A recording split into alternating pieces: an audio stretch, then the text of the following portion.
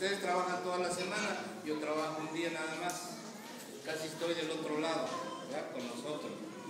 Bien, eh, me han pedido compartir con ustedes, como lo hemos hecho en otras ocasiones.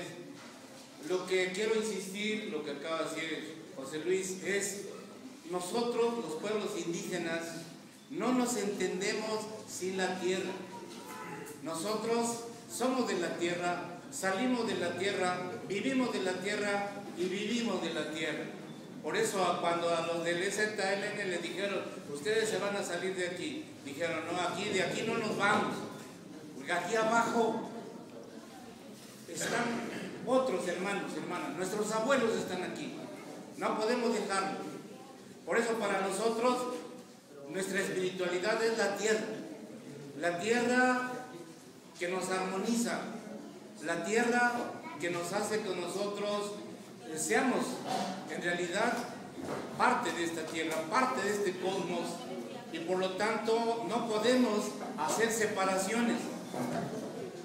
Nosotros creemos que la tierra o tenemos una visión cósmica de tal manera que hay algunos ritos que hacemos como la oración a los cuatro rumbos del universo, Tlaucopa, Cihuatlampa, Huitzlampa y el Pitlampa. Y en el centro se juntan los dos caminos, el camino divino y el camino humano, y ya nace una quinta dirección para llegar a lo trascendente. Así que llenamos todas estas dimensiones humanas y por eso los pueblos indígenas tratamos de no romper esta armonía con la madre tierra, con Tonantzin-Tlali.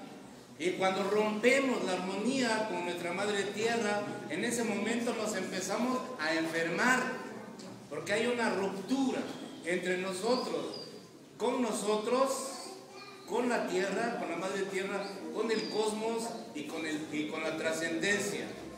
Por eso es importante cuando nosotros vemos que nuestra madre tierra es agredida, es agredida por proyectos eólicos o que le llaman megaproyectos, proyectos eólicos, proyectos de hidroeléctricos, proyectos en donde se va a hacer la explotación de lo que se llama el fracking, el shale, y todos estos proyectos que en el fondo lo que están haciendo es dañar la madre tierra, como lo hicieron hace 523 años con la invasión.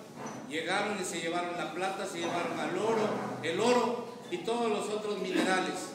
Y el pueblo que yo quedó otra vez en la miseria, pero de esa miseria de la invasión se pudo levantar, pero ahora nuevamente estamos con estos proyectos capitalistas, neoliberales y sobre todo las reformas, famosas reformas constitucionales, que no son reformas porque ninguna de estas reformas favorece al país, al contrario, como ya hemos dicho, le, daña especialmente a los más pobres entre los pobres. Y los más pobres entre los pobres son los pueblos indígenas, o somos los pueblos indígenas. De ahí la importancia de que si queremos seguir viviendo en la tierra, en la madre tierra, tenemos que defender a nuestra madre y dar la vida por nuestra madre como lo han hecho muchos en este país desde hace 523 años, muchos levantamientos, del último del primero de enero de 1994, ahí vimos claramente cómo los pueblos indígenas no somos los poquitos, no somos los niños, no, no somos los predilectos del sistema. Ahí se dieron cuenta que los indígenas somos seres humanos, tenemos inteligencia, tenemos capacidad, porque se ha dicho que los indígenas pues, son poquitos y van a desaparecer. Bueno, tienen 523 años intentando desaparecernos y aquí estamos. Y estamos no solo para nosotros mismos, estamos para defender a nuestra madre, que es la madre tierra, que es la que nos da vida. Esto que hemos defendido como pueblos indígenas durante muchos años, afortunadamente, yo soy sacerdote y ahora me gusta, vamos, no, deja, de, no dejo de alegrarme con el mensaje que el Papa Francisco, claro, también Francisco con una mentalidad de San Francisco de Asís, hermana Luna, hermano Sol, hermano Lobo, hermana Muerte, esa visión cósmica. Por eso San Francisco de Asís es el santo patrono de la ecología.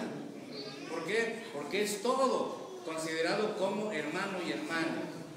Entonces el Papa, con esta exhortación apostólica conocida como Laudato Si, mi señores, que está tomado precisamente de San Francisco de Asís, como la creación entera alaba a Dios, como nosotros los hombres y las mujeres debemos de alabar a Dios. El Papa en esta exhortación apostólica dice muchas cosas, nada más voy a leer tres números para que vean a lo que nos invita. Claro, Laudato sí tiene para mucho. Tiene, recoge las mejores propuestas, las mejores investigaciones científicas, las mejores propuestas, este, por supuesto, no, es un documento científico, tampoco es un documento político, tampoco es un documento que, que podamos decir, pero es un documento pastoral, y pastoral quiere decir, pues, llevar a la gente a mejores pastos, a mejores condiciones de vida, ¿sí?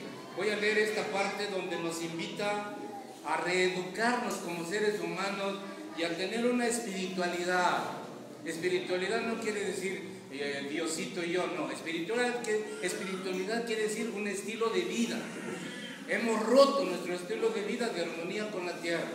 ¿Y qué hemos hecho? Pues explotar la tierra, sacarle todo lo que se pueda.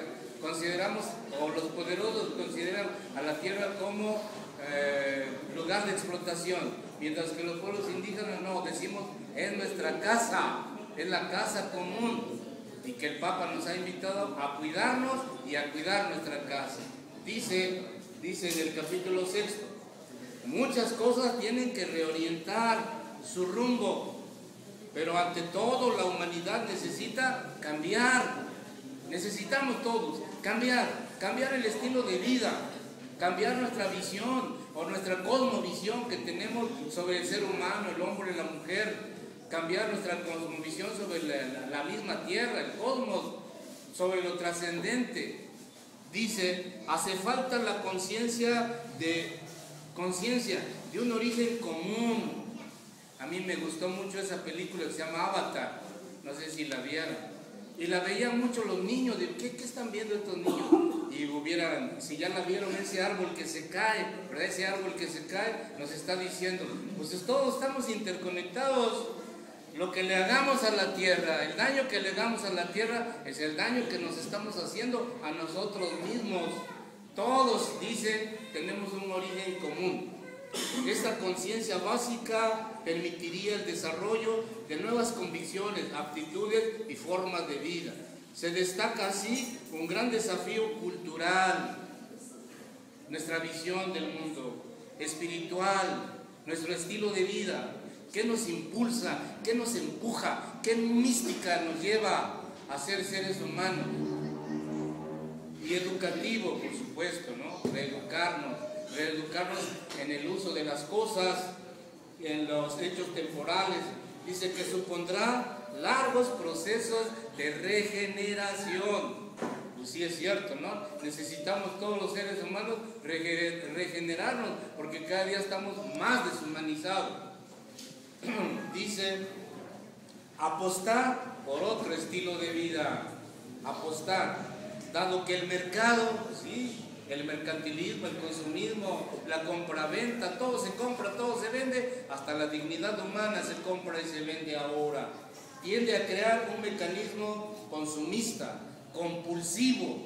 Si no compramos, no estamos bien, no estamos a gusto para colocar sus productos, las personas terminan sumergidas en la vorágine de las compras y los gastos innecesarios. Ya viene la Navidad.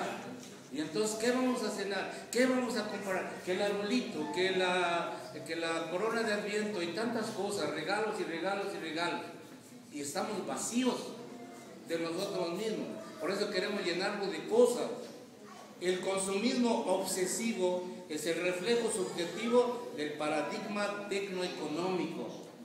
Ocurre lo que ya señalaba Romano Guardini. El ser humano acepta los objetos y las formas de vida tal como le son impuestos por la planificación y por los productos fabricados en serie.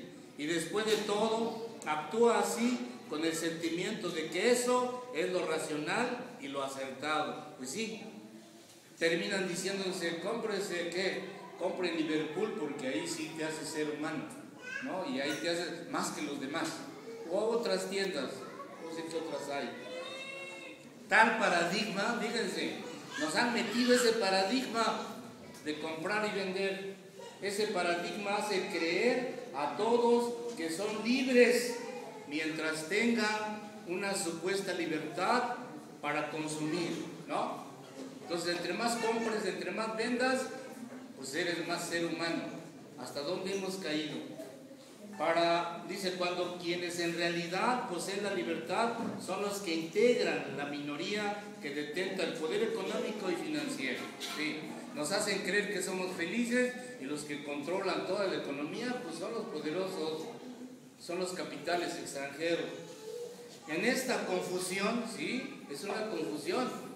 En esta confusión la humanidad postmoderna no encontró una nueva comprensión de sí misma que pueda orientarla y esta falta de identidad se vive con angustia. Tenemos demasiados medios para unos, para unos escasos y raquíticos fines. ¿En dónde hemos caído? ¿En qué ha caído nuestra libertad? Nos han comprado nuestra libertad. El Papa Francisco en la Eucaristía del 12 decía, no perder la paz, que nadie nos quite la paz. Claro, todo lo que implica eso de la paz. La situación actual del mundo provoca una sensación de inestabilidad e inseguridad que a su vez favorece formas de egoísmo colectivo.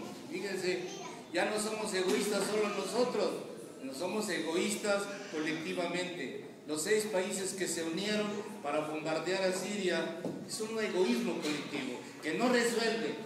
Tenemos la experiencia y se ha hecho la, la, celebración 67 de la Declaración Universal de los Derechos Humanos. Dos guerras, después de dos guerras que implican deshumanización, queremos humanizarnos y ahí está la Declaración de los Derechos Humanos. Queremos humanizarnos, queremos vivir como seres humanos, queremos ser felices, pero ahí está la situación. Cuando las personas se vuelven autorreferenciales, y se aíslan en su propia conciencia, acrecientan su voracidad. Sí, este sistema neoliberal capitalista es una bestia que no tiene llenadero y nos va a tragar si nos dejamos. Mientras más vacío es, fíjense, mientras más vacío esté el corazón de la persona, más necesita objetos para comprar, poseer y consumir. En este contexto, no parece posible que alguien acepte que la realidad le marque límites. Sí, así decía, ¿no? Cuando surgió el capitalismo. Laissez faire. Dejar pasar, dejar hacer. Hay libertad, ¿por qué? Porque aquí todo se puede hacer. Dicen, en Cuba, en Venezuela no hay libertad porque ahí el gobierno pone leyes. Pues sí, aquí nadie pone límites, no hay códigos de ética.